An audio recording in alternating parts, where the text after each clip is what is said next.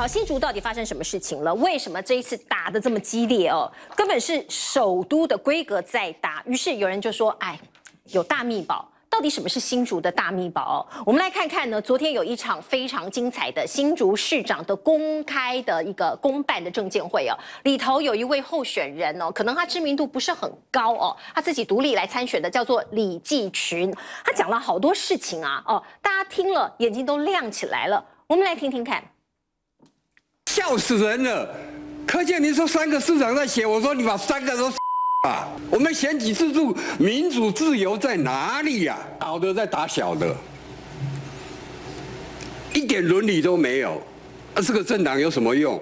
棒球场十二亿算什么？两千多亿嘞！我已经在 Facebook 跟小英讲，新竹的黑洞，台北离新竹很近，我可以带他去看。是这些人拿了公堂勾结学者神医，记者也不愿意访问我，怕得罪了。我资料都有啊。为什么我不敢出来写？那沙卡都，新竹还有很多吸血鬼，老天有眼，马上报应，太恶劣了。他们以为拿公帑很好花，我再跟各位讲，苏贞昌刚刚公布的，每一位人民啊，一万一千块啊，一年呐，你家有几口就有多少钱啊？哪里的钱有给到你吗？都是既得利益在夸奖，互相在取暖，没有人愿意戳破他。到底新竹发生什么事情呢？我们的公堂有好好被花吗？来看看这一名议员，他是民进党籍的议员，现在已经往生了。他在二零一八年的时候讲过这么一段话，他说他当了二十五年的议员呐，很少看到这个情形。什么情形呢？来听听看。他说我做二十五年以外，很少有市场用。限制标，限制标跟绑标差不多。听讲，市场会块有一个团队专门咧做这工作。限制标就跟绑标一样，都是用限制标，然后都跟绑标一样哦。这位议员他已经往生了，他是民进党籍的。他过去讲过哦，我们新竹市民哦，我们新竹的民进党的执政，记得笑脸音呐，他只会骗我们的选民。乱花钱、乱办活动、浪费我们百姓缴的税金。好，这一字一句啊，现在我们都看到证据了吗？有些事实出来了，包括这个小学，我觉得超级不可思议的。你经费增加六倍哦，盖了六年都没有完工，从原来的二点二亿膨胀到十三亿多，而且未来可能会追加到十六亿以上。你是用钻石盖的吗？哦，盖不完呢。哦，那我们可以看到林志坚说啊，这是为了城市美学哦，所以这个这个我们要好好的来盖哦。那只能容纳少少的学生，没有错，好多人都想要进去读哦，住在附近的也进不去哦，供不应求。可是他自己的小孩进去念了，这个学校叫做关埔国小，太多太多案例了，包括怎么可能这个学校盖了这么久，然后呢没有场地哦，他连办。这个呃，这个体育馆的各种的这个什么校庆呐，都可以跟都必须跟邻近的国中借校地来办校庆，也没有操场，这到底是一个什么样的学校？我真的很想去参观看看。蔡总统抢先我一步参观过了，二零一九年他跑去看了，他说：“哇，小智好啊，小智棒啊，这个关埔国小盖的真用心啊。”桃园的大秘宝到底在哪里啊？我们用公开资讯整理到这里，整理到这里，让你来看一看。包括你看到呢，呃，在二零一七年的时候，林志坚啊，他争取了两百七十五亿的经费，那是前瞻预算的经费，他要建设很多东西，包括棒球场啦，包括轻轨啦，还有大车站计划啦。于是我们看到这么多的建设哦，包括哦，有一些建设哦，都是在追加，都在膨胀。八德羽球馆，全世界都看到了，摊成这样，它不是前瞻预算，可是。预算在追加，而且工程品质您看到了好还是坏？大家都知道，前瞻预算、前瞻经费盖出来的，包括新竹棒球场一样，品质您也看到了，一样膨胀到十二亿。还有新竹市的总图哦，同样的膨胀到十六点四亿，原本是八点五亿，而且还流标十二次。新竹大车站呐，这个计划的经费是六十五亿，变成一百零四亿，同样前瞻经费。新竹市火车站站前广场及周边的道路景观改造三千五百万，新竹国际展演中心哦，经费七亿多，都是亿来亿去的啊，而且不断的在膨胀，到底钱是怎么花的？现在看起来里头有疑点，来问一下亮哥，亮哥你怎么看呢？这个议员讲的哦，还有包括你可以看到这个李继群候选人说的，到底他们是在乱说的吗？我来，因为新竹啊，这个我们可以看到一个多月。都在打高鸿安的助理费争议嘛，对不对啊？那助理费全部加起来六十万啊，他当然有争议啦，法律问题他自己要去面对。嗯，可是你是在选市长，对市政总要有一些揭露吧？结果我们就看到电视台一天到晚都在打助理费。那对于新竹市的一些谜团呐，啊，比如说你刚刚讲的前瞻预算这么多撒在新竹市，嗯，那不断的在增资嘛。它的预算不断的在膨胀，没错。同样的个案，嗯，比如你讲新竹大车站六十五亿变成一百零四亿，新竹棒球场从三点五亿变成十二亿，新竹市的总图书馆从八点五亿变成一百，变成十六点四亿，还流标十二次，这种案子一大堆啊，啊，那为什么都？我坦白说了，我在这里也要谴责国民党的议员呐，对啊，你到底在干嘛？哦，这个我坦白说。桃园，我从头到尾都只听到詹詹江村议员不断的在爆料。嗯，哎，桃园国民党有多少议员呢？